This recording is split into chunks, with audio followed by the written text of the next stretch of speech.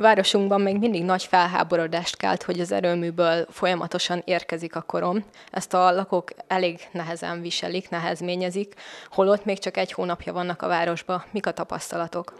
Hát igen, és még egyszer köszönöm a lehetőséget, hogy így lehetőség nyílik arra, hogy a város lakóihoz szólhatok, és, és megköszönhetem a türelmüket. Tehát, ahogy jeleztem korábban is, az, hogy mi itt egy hónapja itt vagyunk, ez arra volt, hogy ugye a diagnosztikát megpróbáltuk felvenni, hogy miért is van ez a kormolás, illetve miért működik az erőmű úgy, ahogy működik. Hát az első olvasatunk az volt, hogy mindenképp kell egy rövid távú cselekvési tervet elkészítenünk, amelyben környezeti problémák megoldása elsődleges, és vele együtt meg kell nézni azt, hogy milyen energetikai fejlesztésekre van lehetőség. Polgármester úrral mi megállapodtunk abban, hogy havonta tartunk egy közös találkozót, és a, abban az időszakban megtett intézkedéseket, vagy hát történéseket megbeszéljük, én is bemutatom, és tehát abszolút nyitott ajtó elvén abba egyeztünk meg, hogy a következő találkozót az erőműben fogjuk tartani, és addig a, a léghevítőben történt változásokat is be fogjuk mutatni, illetve ma már egy olyan tárgyaláson is túl vagyok, amiben a, az erőmű kozányainak át, átalakítását, modellezéséről tárgyaltunk. Pont ennek is egyik fontos eleme az, hogy a környezeti problémát lehetőleg hamarabb megoldjuk. Tehát összefoglalva továbbra is azt kérem, hogy egy picit türelmet kérünk még. Önmagában az, hogy mi itt, mint Veolia megjelentünk, és még nem tudjuk elindítani a beruházásokat, nyilván az, az nem jelent sajnos sok mindenben változást amiben változást kell majd még látni vagy, vagy elérni. Ugye a kollégáimmal folyamatosan beszélgetek arról, hogy, hogy az emberi tényezőt hozzá kell tenni, nem elég a műszaki változtatásokat megtenni. Ebben úgy érzem, hogy ők is partnerek, tehát ebben azt gondolom, hogy közösen, viszonylag rövid idő alatt azért változások fognak létrejönni. Azt az információt hallottuk, hogy Mészáros Lőrinc cége bevásárolt Ajkán. Mennyire befolyásolja ez az erőmű működését? Tehát az erőmű működését közvetlenül nem fogja érinteni, hogy volt egy tulajdonosváltás. Ugye beszállított tüzelőanyagnak egy kis részét biztosítja egy bizonyos Kft., ahol volt ez a, ez a tulajdonosváltás. Ő magában ez egy kis része. Az össztüzelőanyagunknak nem érzem azt, hogy ebben változás léphet fel, vagy ebben olyan befolyásoló tényező lehet. Beszélne még arról, hogy mivel szeretnék támogatni a várost a későbbiekben? Tehát ahol megjelenik a Veolia, nyilván a, a közzel együtt kíván élni, és, és részesedni szeretne, a, a, és szerepet vállalni abban, hogy a városnak jobb legyen, és a város szépítésében is részt vesz.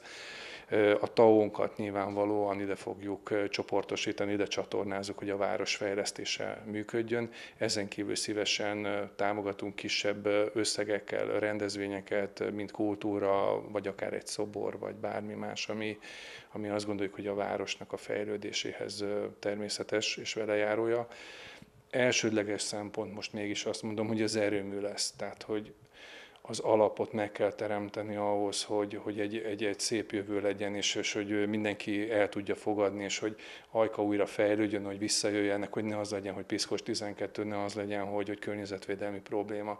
Én azt gondolom, hogy ez a legfontosabb teendő most, hogy, hogy egy alapot, egy jó bázist tudjunk létrehozni, és akkor erre lehet fejleszteni.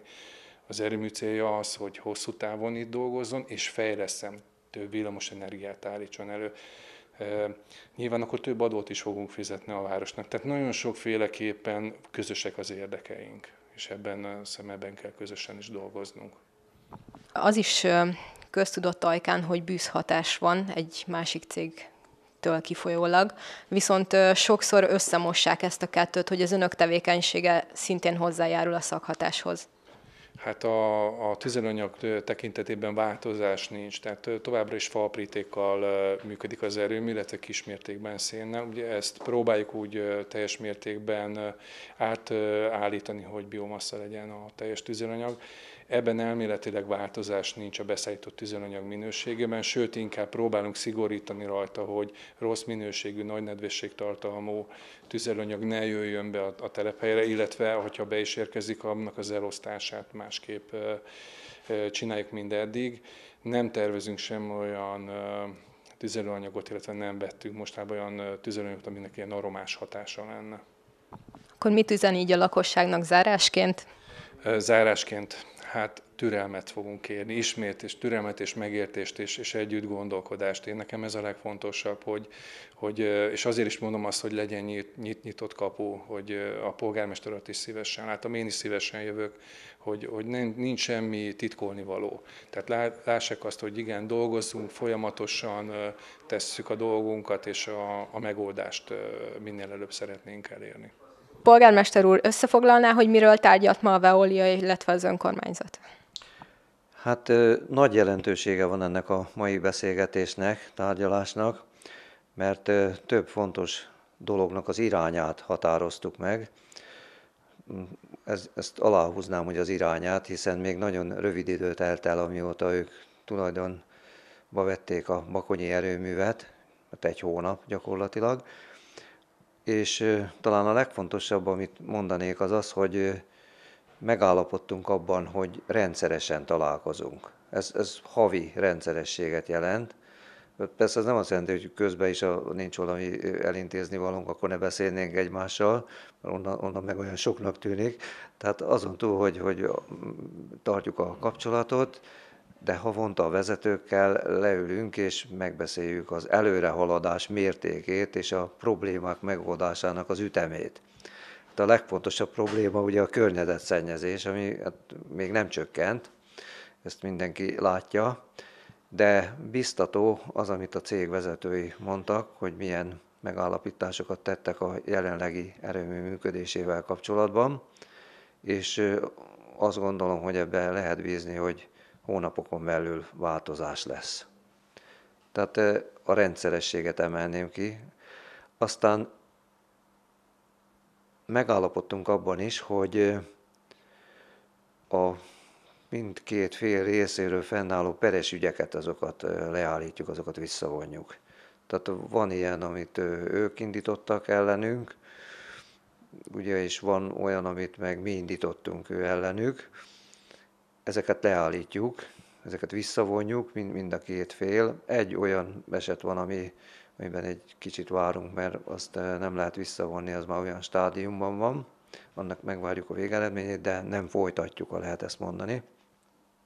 Úgyhogy ez, ez, ez véleményem szerint azt jelenti, hogy nagyon ö, eh, nagy bizalommal van mind a két fél a másik iránt, és ez, ez, ez biztató a, a, a városra nézve ők nagyon nyíltan állnak a kérdések elé, ugye ezt láttuk a legutóbbi látogatáskor, amikor önök a erőművet fölkeresték, és ezt a mai megbeszélést is ez a nyíltság és ez a kölcsönös érdek vezérelte, úgyhogy ebbe is megállapodtunk, és még szó van több olyan részletkérdésről, ami, hát, hogy úgy mondjam, most most még az, az, meg azok falsúlyuknál fogva olyan kismértékűek, hogy azokról talán most még nem is kéne beszélnem, inkább akkor majd a realizálódnak.